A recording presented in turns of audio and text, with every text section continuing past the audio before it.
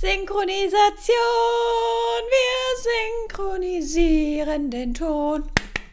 Hey und herzlich willkommen zurück zu einem neuen Video von mir. Heute gibt es mal wieder ein Mod-Video. Wir haben jetzt sehr lange kein Mod-Video mehr gemacht. Ich kann mich gar nicht mehr daran erinnern, wann das letzte Mod-Video war. Falls ihr es noch wisst, schreibt es mal in die Kommentare. Auf jeden Fall bin ich heute zurück. Es gibt einige neue, coole Mods. Was heißt neue? Es gibt Updates. Neben diesen Mods, die ich euch heute zeigen werde, habe ich noch einen Mod gefunden, den ich euch allerdings heute nicht zeigen werde. Den habe ich nämlich noch gar nicht installiert, aber ich finde ihn ziemlich interessant. Nicht für mein Gameplay unbedingt, weil ich nicht so eine Art von Spiel spiele, aber es ist auf jeden Fall mega krass und bringt ziemlich viel neues, realistisches Gameplay ins Spiel. Also falls ihr ein Video über diesen Mod äh, sehen wollt, dann schreibt es mir gerne in die Kommentare. Ich bin sehr gespannt auf euer Feedback. Naja, wir werden jetzt aber direkt losstarten, damit dieses Video nicht allzu lange geht. Und äh, ich wünsche euch ganz viel Spaß. Wir sind hier in einer neuen Familie. Die kennt ihr noch gar nicht. Die habe ich nämlich gerade erst erstellt. Das ist die Familie... Das ist die Familie Honeycutt, beziehungsweise ein Teil der Familie heißt Honeycutt und der andere Teil heißt Matthias. Und zwar besteht diese Familie aus dem Ehepaar Allison und Ryan. Die haben zwei Kinder, und zwar Melissa und Dorian. Dann hat, äh, wie heißt sie? Allison noch eine Schwester, das ist die gute Dame, Blair. Und deren Mutter wohnt auch noch im Haus, das ist Evelyn. Wie ich auf diese Familienzusammenstellung komme, keine Ahnung. Irgendwie hatte ich Lust, mal so ein paar Familienmitglieder drumherum noch zu erstellen und daraus ist dann das hier geworden. Sie wohnen in einem wunderschönen Haus hier in äh, Willow Creek. Ich habe das Haus aus der Galerie. Es heißt Base Game Suburban, weil viele mich danach immer fragen. Wenn wir jetzt hier schon mal im Baumodus sind, dann fangen wir auch direkt mit dem ersten Mod an, den ich euch heute zeigen werde. Und zwar habe ich den bei Kawaii Stacy gefunden.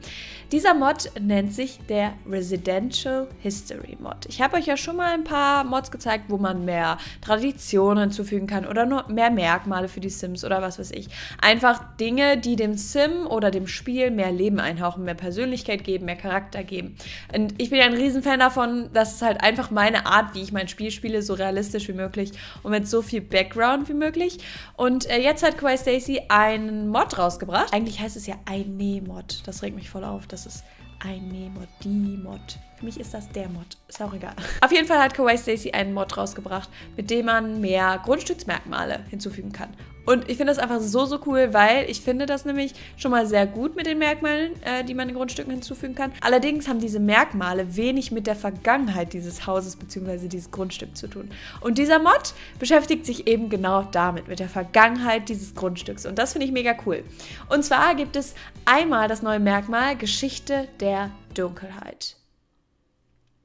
Das Kind des Vorbesitzers wurde gemobbt, weil es so einzigartig war.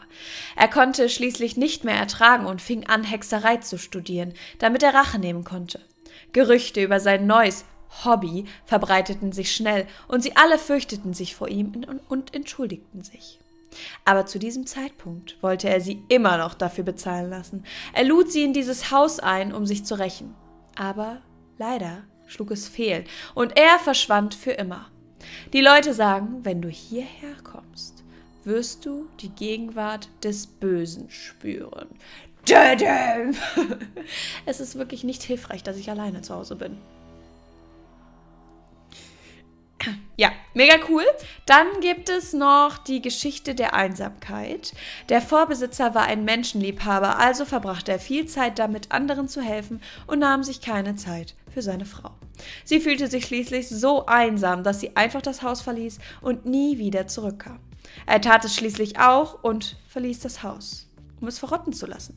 Die Leute sagen, wenn du hierher kommst, wirst du unglücklich werden, deine Beziehungen werden enden und schließlich wirst auch du das Haus verlassen. Auch mega, mega cool.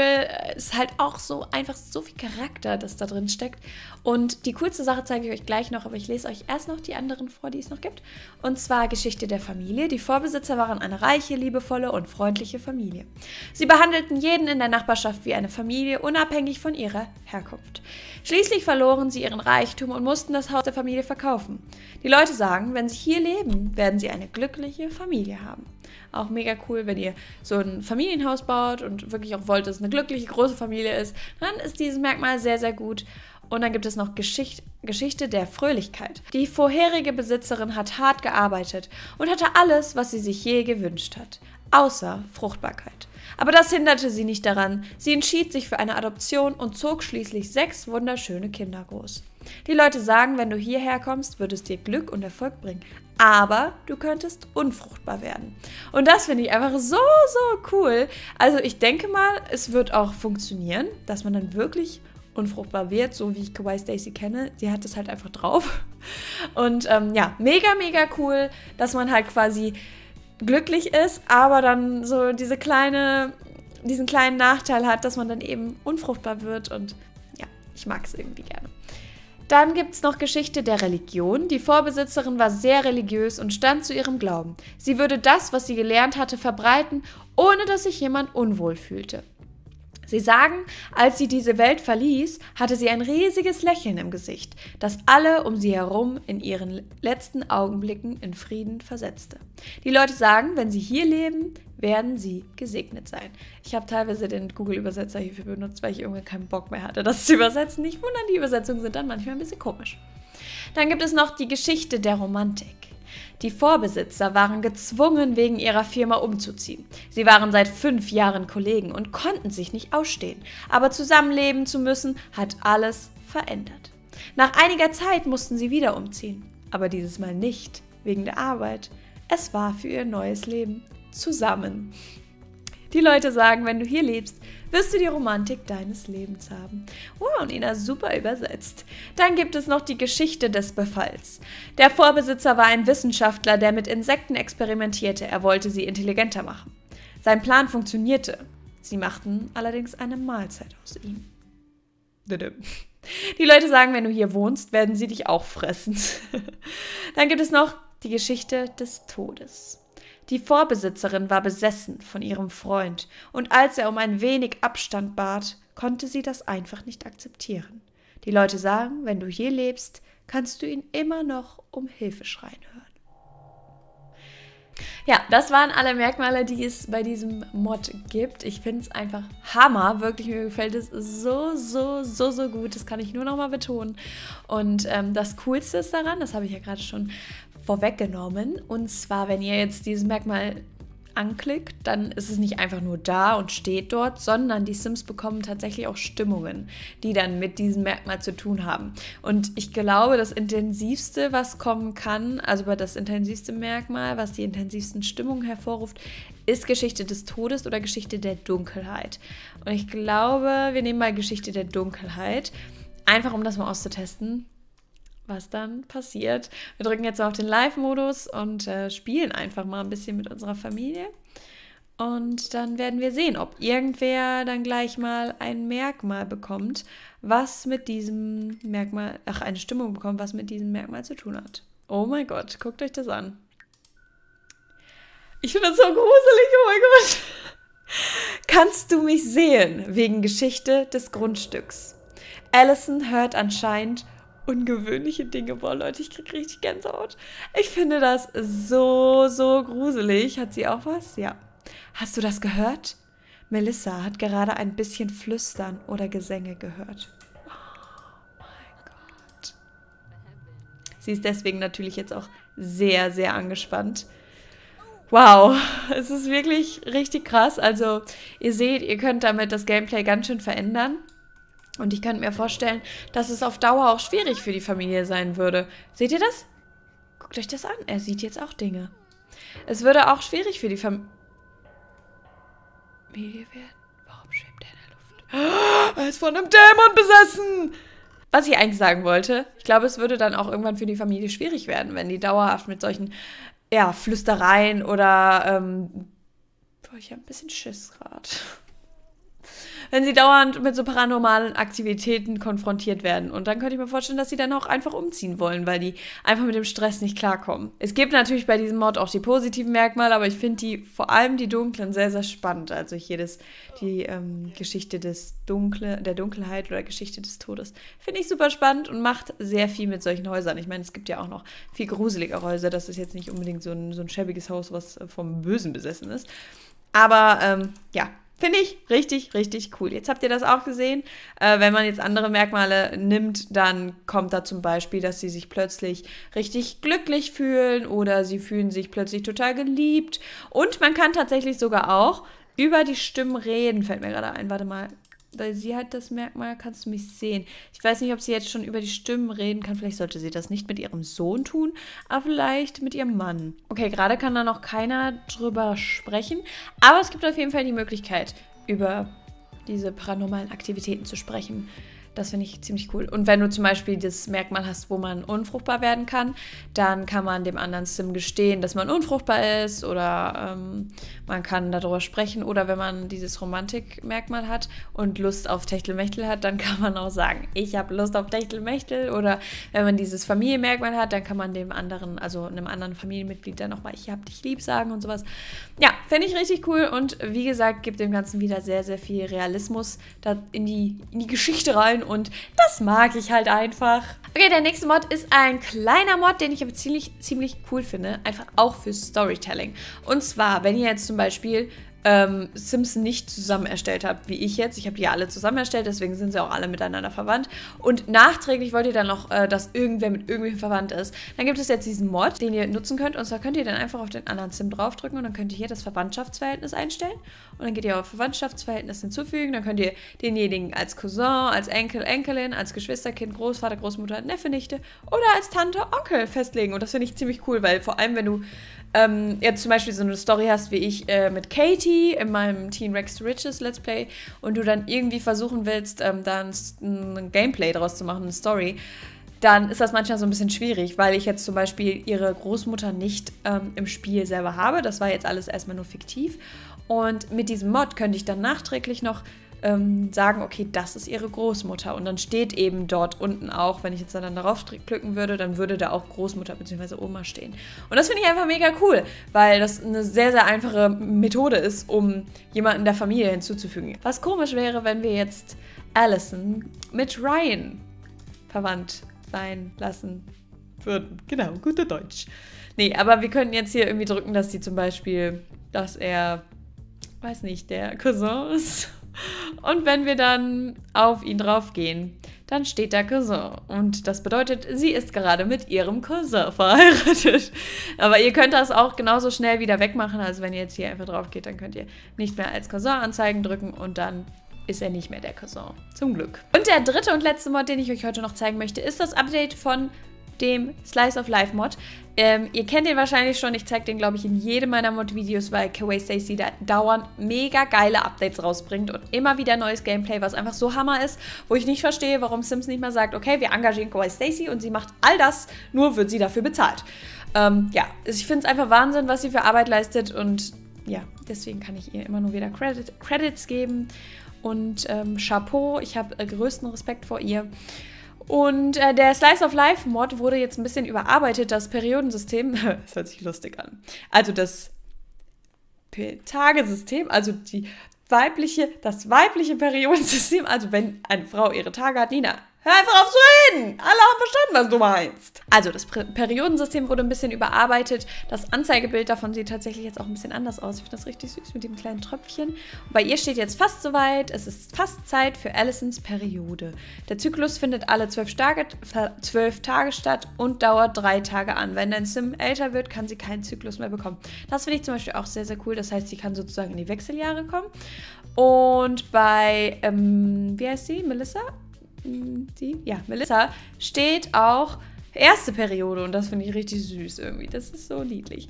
Und ist halt auch gut fürs Gameplay, für die Storytelling. Ich weiß nicht, ob es das vorher auch schon gab, bei dem, also vor dem Update, aber ich finde es auf jeden Fall richtig niedlich. Und ähm, es gibt jetzt auch neue Symptome, wenn sie ihre Tage haben. Und ich glaube, die sind auch nicht alle nur negativ. Ähm, ich werde gleich mal vorspulen, bis jemand äh, die Periode hat, damit wir das dann genauer beobachten können. Aber was auch noch mit dem Update kam, ist äh, ein neues Krankheitssystem, denn das war ja also es war erst cool, dass es da war, dann war es aber ein bisschen exzessiv, weil die dauernd alle krank waren. Dann hat sie es wieder rausgenommen und jetzt hat sie es überarbeitet und wieder ins Spiel reingetan. Und jetzt äh, gibt es eben auch die Möglichkeit, das dann alles direkt zu behandeln. Es gibt die Möglichkeit, eine Impfung zu bekommen. Es gibt die Möglichkeit, das Krankenhaus zu besuchen. Ähm, man kann hier Symptommedizin ähm, kaufen. Ah, okay. Das äh, lindert dann die akuten Schmerzen oder was auch immer der Sim dann hat. Aber ich würde sagen, wir geben jetzt einfach mal einem Sim hier die Grippe. damit wir das einfach sehen können, was passiert. Und sie hat jetzt hier Halsschmerzen, wird krank in 24 Stunden. Oh mein Gott, ist das cool. Bei mir fängt es tatsächlich auch immer mit Halsschmerzen an, wenn ich eine Grippe bekomme bzw. krank werde.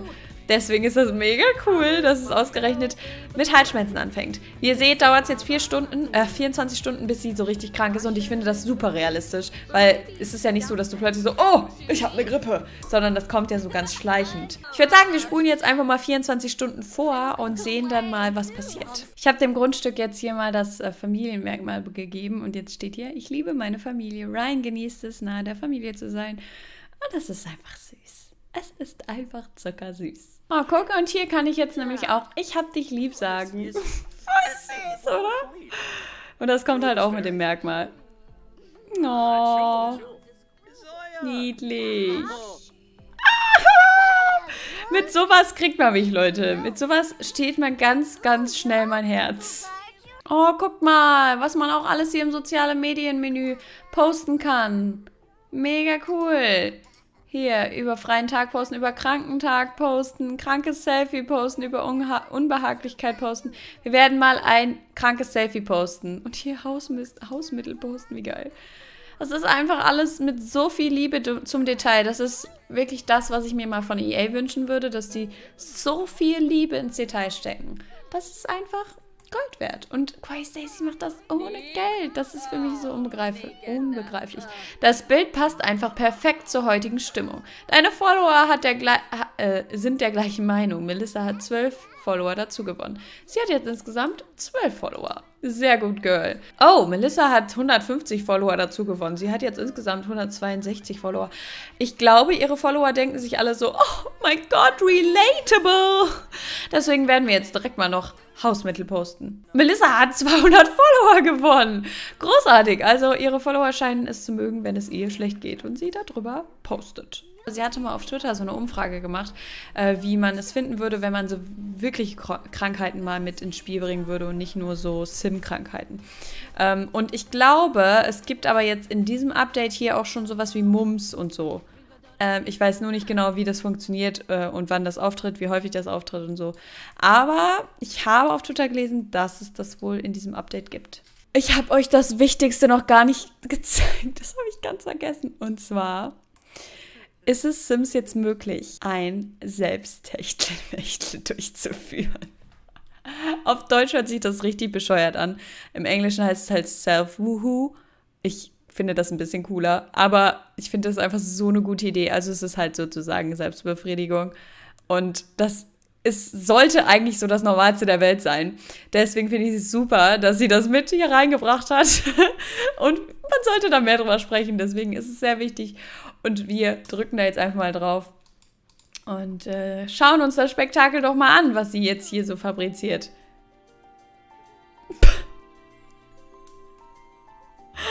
großartig. Ich finde es großartig. Weil ich glaube, vor allem Teenager erforschen so ein bisschen den Körper und so. Und dann ist das, glaube ich, einfach realistisch, dass sie da mal selbst Hand anlegt, sage ich mal. Ich, ich finde es einfach mega cool. Sie kriegt jetzt bestimmt auch eine Stimmung, wie es so war. Ich spüre mal ein bisschen vor. Guck mal, das finde ich voll cool. Seht ihr das? Lustig. Okay. Und angenehme Berührungen. Es gibt nichts Besseres, als sich selbst zu berühren. Oh mein Gott, ist das hier noch family-friendly? Aber wie gesagt, ich finde es äh, cool, ich finde es wichtig, dass man darüber spricht. Und ähm, warum haben wir Geld bekommen? Oh, schaut mal. Oh nein, Grippe. Melissa scheint ein Virus eingefangen zu haben. Dieser wird die Stimmung, Fähigkeiten und Motive deines Sims beeinflussen. Diese Übersetzung ist ein bisschen kurios. Aber ich will hier nichts judgen. Ähm, die habe ich übrigens nicht selber übersetzt. Das habe ich von der Translation-Seite. Kopfschmerzen, Melissas Kopfschmerz, dann muss sie pieseln, ähm, war, ich glaube, das liegt nicht an der Krankheit. Und sie hat schweren Husten, Melissas Hals kratzt sehr. Oh nein, sie fühlt sich unsicher momentan und äh, das Ende der Welt. Oh nein, Kinder hassen es, krank zu sein. Der arme Kleine. Naja, es ist eine Mädel. Aber egal. Äh, ansteckend wegen Erkältung. Dieser Sim kann Krankheiten verbreiten. Oh mein Gott, wie cool ist das denn? Das ist sowas von realistisch, Leute. Ich liebe es einfach. Ich. Ha, großartig. Das ist so viel Realismus in. eine Mod. Großartig. Großartig. Ich kann nicht aufhören, großartig zu sagen, weil es ist wirklich einfach nur großartig. Aber wir wollen natürlich jetzt nicht, dass es unser, ich vergesse Namen, Melissa so schlecht geht. Deswegen werden wir natürlich jetzt mal eben zum Arzt gehen. Wir werden das Krankenhaus besuchen. Bringt das dann was? Ich glaube schon. Ne? Und ähm, wir nehmen Mami mit, weil wir können ja nicht alleine gehen. Um 5.22 Uhr. Adios, amigos. Ich hoffe, es geht dir gut. Heilung. Wegen Medizin. Melissa hat eine hohe Chance, geheilt zu werden. Yay! Das ist ja toll. Ist sie wieder da? Nee. Sie fühlt sich einfach nur benommen. Aber das ist ja mega cool. Vor allem, dass sie sich jetzt auch hier so benommen fühlt, weil sie einfach so voll die Drogen eingeflößt bekommen hat. Wo ist sie? Da. Wieso hat das uns jetzt zweimal 100.000, ach, 100 Euro, 100 Simoleons abgezogen? Oh mein Gott, wurde sie jetzt nicht geheilt? Oh, wie gemein. Sie hat sich doch erst besser gefühlt. Och, Mano. Naja, ich finde es aber auf jeden Fall ziemlich cool, weil es ist nun mal auch so, dass ein Arzt kein Wunderheiler ist. Er kann nicht so machen und direkt geht es einem besser. Also, super Sache. Ähm, wir könnten wahrscheinlich jetzt noch ein bisschen Medizin kaufen. Wartet mal, das machen wir jetzt auch noch. Also, wir sind jetzt hier auf der Seite von Kawaii Stacy und ich glaube, das wurde hier aber noch nicht geupdatet. Also dieses Bild auf jeden Fall. Hier seht ihr auch, wenn sie ihre Tage hat, dann hat sie halt auch. Oh mein Gott, das habe ich auch vergessen zu erwähnen. Auf jeden Fall, ganz, Nina, Fahrrad dich runter. Wenn sie ihre Tage hat, dann kann sie auch hier Schmerztabletten nehmen, damit sie dann keine Unterleibschmerzen und sowas hat. Aber das Allerwichtigste, Leute, das habe ich ganz vergessen. Wir brauchen jetzt Tampons und Binden. Das finde ich so realistisch. Das heißt, wenn die Sims ihre Tage haben, dann müssen die ihr Tampon wechseln oder ihre Binde wechseln. Ansonsten geht es denen schlecht und sie fühlen sich schlecht. Hammer. Ich würde sagen, wir spulen jetzt auch noch so lange vor, bis jemand seine Tage hat, damit wir das auch noch sehen können.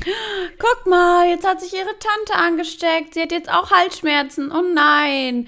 Am besten holen wir jetzt ganz schnell Medizin für sie, damit sie dann nicht krank wird. Und zwar holen wir jetzt diese Medizin. Ich ho hoffe, das wird was besser machen, aber ich, I don't know. Oh, seht ihr? Symptomlinderung wegen Medizin. Blair wird von den Symptomen befreit, bis die Medizin nicht mehr wirkt. Oh nein. Ich dachte, dass, ähm, oh nein, sie hat jetzt eine Erkältung. Jetzt haben sie sich angesteckt. Guck mal, Leute, er hat jetzt die Stimmung ausgesetzt wegen krankem Sim in der Nähe. Es besteht die Chance, dass dieser Sim krank wird. Mega cool. Also es sind auch fast alle krank geworden. Ähm, sie ist ein bisschen wütend, weil ach, ihr Schw ihre Schwester hat ihren Mann angeflirtet. Ist ja auch egal. Auf jeden Fall ist äh, Oma ja krank geworden. Ich habe ihr allerdings äh, Medizin gegeben, deswegen geht es ihr ein bisschen besser. Äh, sie ist krank geworden, sie hat aber auch Medizin bekommen. Sie ist auch krank geworden. Und sie ist auch krank geworden. Ach nee, sie war ja von Anfang an krank. Aber er ist, doch, er ist jetzt auch krank geworden. Juhu! Aber ähm, wie gesagt, ich finde es sehr realistisch. Ich hatte mal Magen-Darm und habe mich die ganze Zeit übergeben. Und eine Woche später hatte meine ganze Familie Magen-Darm. Und alle haben sich übergeben. So, jetzt sollte es soweit sein. Sie müsste jetzt ihre Periode bekommen zu ihrer Grippe. Das ist doch schön, oder? Das ist das Allerschlimmste. Ja? Oh mein Gott, was hat sie denn jetzt alles? Wow, okay. Also, äh, Menstru Menstruationszyklus, er endet in vier Tagen. Sehr gut. Ähm, und dann findet er wieder. Hä? Okay, hier ist ein Bug unterwegs, Leute. Wir kriegen nicht schon wieder in drei Tagen unseren Zyklus. Ist ja auch egal. Ähm, auf jeden Fall hat sie. Blair kann derzeit keine Kinder zeugen. Wie cool ist das denn? Okay, supi. Dann hat sie süße Gelüste. Dies ist ein Symptom von Blairs Menstruationszyklus. Das ist von ihrer Grippe. Äh, sie hat Krämpfe, auch wegen ihrer Tage. Und sie braucht einen Tampon oder eine Binde. Blair braucht einen Tampon, eine Binde, um sich wohlzufühlen und frisch zu riechen. Dieser Sim kann entweder eine kaufen oder eine Dusche und ein Bad nehmen. Das finde ich super. Und ich muss erstmal diesen. ja, Prost, Nina. So, jetzt kaufen wir aber mal eben einen Tampon. Mal auf, Girl. Handlung. Erstmal lindern wir ihre Schmerzen, so. Und dann lindern wir ihre, ihre ihr Bedürfnis nach einem Tampon. Yay! Jetzt hat sie ein frisches Tampon. Frischer Tampon, frische Binde. Blair fühlt sich frisch. Sehr gut, da freuen wir uns doch. Sie hat jetzt auch ein bisschen Fieber und ihr geht sehr schlecht, aber ihre, äh, ihre Krämpfe sind schon ein bisschen besser geworden. Deswegen ist doch alles im Lot auf dem Boot. Wir kriegen hier irgendwie die ganze Zeit random Geld und ich weiß nicht warum.